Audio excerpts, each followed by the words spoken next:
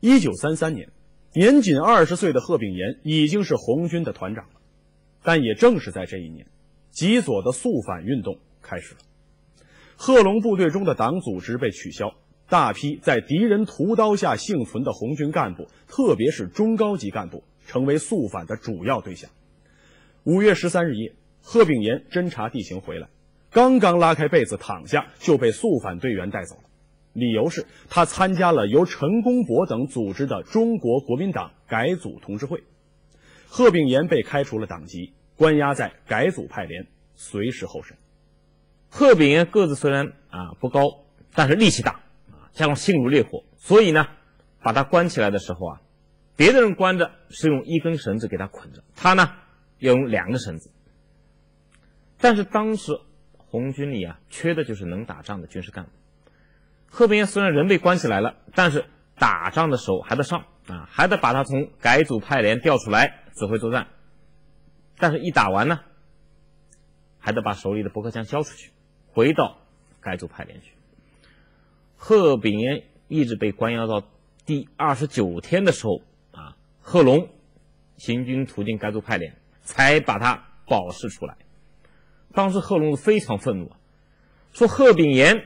十五六岁就参加革命，如果他真是反革命，他会这样不要命的打仗吗？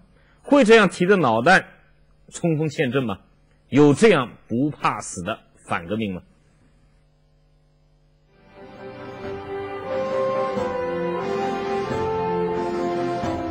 一九三五年十一月十九日，红二六军团开始长征，行军途中，党员干部给伤病战士背枪。把骡马让给伤病员来骑。在瓦屋塘战斗中失去右臂的贺炳炎，不仅把自己的马让给伤员骑，还把缰绳缠在了断臂上，亲自牵马引路。放眼望去，一列列队伍有序行进，贺炳炎断臂牵马，穿插其间。随行的战士们看到这一场景，都感动的流下了眼泪。